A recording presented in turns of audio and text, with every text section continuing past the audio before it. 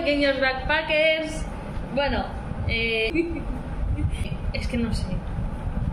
Bueno, pues aprovechando que hoy tenemos un día un poco así feo de lluvias en Sri Lanka, Bataramula concretamente, eh, cerca de Colombo, pues hoy me voy a estrenar en YouTube y pues os voy a contar un poco lo que a mí me hubiera gustado saber antes de empezar esta experiencia, que bueno, ahora os voy a explicar un poco cómo hemos venido aquí, que no vengo sola, por cierto, detrás de la cámara estamos. Nuestra experiencia empezó hace eh, un mes y medio, dos meses, y hemos venido aquí con Workaway. Que bueno, si no conocéis qué es lo que lo que es eh, la página o la plataforma Workaway, os la dejo por debajo en la descripción y podéis investigar. Se trata de una página, una plataforma en la que tú puedes crearte un perfil, ya sea en solitario o en parejas, que es el caso que hemos hecho nosotros. Pones tus datos, tus aficiones, tu experiencia, tu, todo lo que quieras contar sobre ti.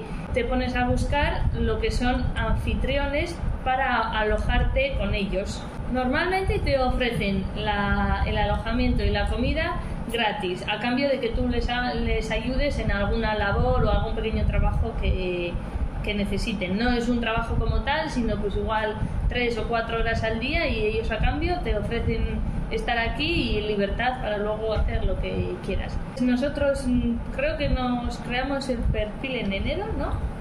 nos creamos el perfil en enero y yo creo que no tardamos mucho más que un mes en contactar con este anfitrión en el que estamos aquí, que es nuestra primera experiencia.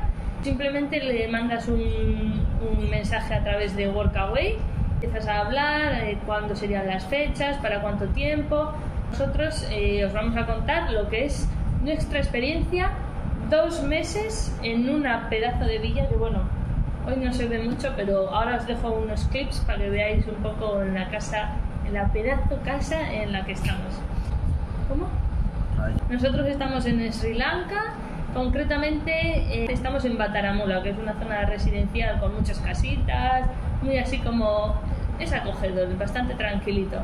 Llegamos el 30 de marzo y hemos estado en total un mes y medio y lo que nosotros hemos venido a hacer prácticamente es cuidar esta villa, porque la dueña se ha tenido que ir de viaje a su país de origen, a Alemania. Cuidamos esta pedazo de casa, le cuidamos a su perro, que lo tengo aquí mismo, que se llama Milo.